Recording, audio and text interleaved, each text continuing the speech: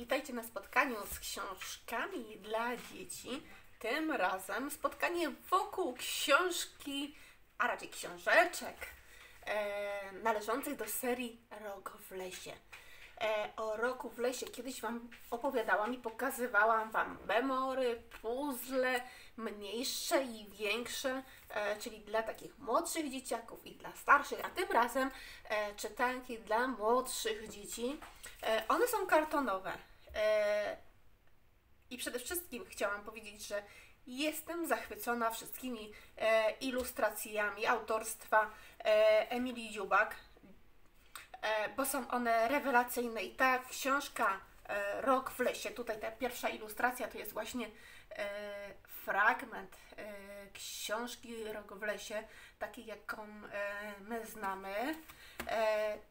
Zachwycają, niby są proste, e, niby nie są realistycznym, takim całkowicie realistycznym odzwierciedleniem zwierząt, e, ale jednak dzieci e, skutecznie przyciąga dziecięcą uwagę. Jak widzicie, tekstu jest niewiele i to w obu książeczkach jest tak niewiele tekstu.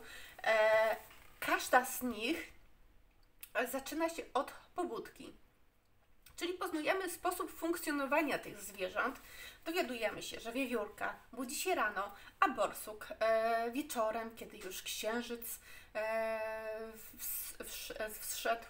E, I e, dowiadujemy się, dlaczego i w jaki sposób te zwierzęta gromadzą jedzenie, e, w jaki sposób przygotowują się na nadchodzącą zimę, e, jak wygląda ich codzienność. O, tu mamy śpiącego borsuka. E, jak wyglądają ich relacje społeczne, to, że wiewiórki bardziej są e, samodzielne, a borsuki żyją w większych stadach. E, poza tym w tych książeczkach położono nacisk na aktywność czytelnika, na to, żeby taka lektura go nie nudziła, czyli jest zachęcanie dziecka do ruchu.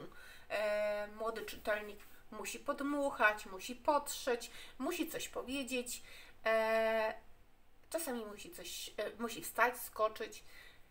Jest tu przede wszystkim nacisk na to, żeby dziecko uczyło się wykonywać polecenia, żeby w pewien sposób, żebyśmy mogli dostrzec, czy ono rozumie czytany tekst, czy potrafi przełożyć polecenia na słowa. E, w moim domu te książki świetnie się sprawdziły ze względu na to, e, że córka po czytaniu ich e, zaprzyjaźniła się z bardziej z maskotkami, które już były, już od, były odłożone troszeczkę bardziej tak w kąt. I na nowo borsuk i wiewiórka wróciły do łask, przy czym borsuk w dzień jest kładzony do spania, a wieczorem jest budzony, a wiewiórka zabierana jest na spacer.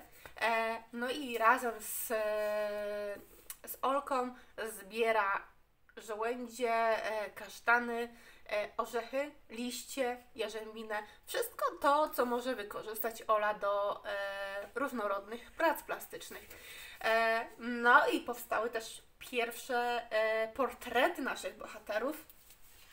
Nie przygotowałam się na to, żeby Wam pokazać tych portrety, ale e, właśnie te książeczki stały się inspiracją do tego, e, żeby po prostu rysować po, poszczególne e, postacie z książki Rok w lesie. No i ta książka Rok w lesie, jedna z ulubionych, e, jest na tyle e, kochana i uwielbiana, e, że pomogła się też oswoić z poszczególnymi placówkami oświatowymi, bo Ola z kolejnymi tomami wędrowała właśnie do przedszkola najpierw, a później do szkoły i tam czuła się lepiej, bo była z czymś, co znała, z czymś, co lubiła i mogła się z innymi podzielić tym, co lubiła i kochała. Zdecydowanie polecam Wam te książeczki, bo są e, bardzo przyjazne. E, niewielki rozmiar powoduje, że można je śmiało zabrać na spacer. Mieszczą się w torebce, a e, kartonowe strony e, dobrze, e, dobrze sklejone e, sprawiają, że te lektury będą trwałe. Są bardzo estetyczne, pięknie się prezentują. Zdecydowanie polecam. I do zobaczenia